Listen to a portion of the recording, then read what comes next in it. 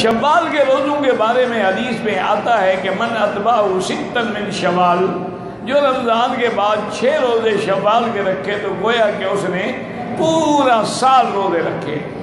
क्योंकि एक रोज़े की, एक नेकी की दस गुना तो मिलता ही मिलता है तो अगर तीस रमज़ान के रोज़े हैं तो तीन सौ वो हो गया और साठ तेरी ये हो गए। तो तीन सौ साठ गोया उसने सारा साल रोज़ा रखा। बहरहाल इसको इतना लाजम भी ना समझाओ कि रमज़ान का जुज बना दो। बल्कि रमज़ान के बाद कभी एक दिन रख लिया, कभी ना रखा, कभी रख लिया, क्योंकि बाज़ इसके कायल नहीं है।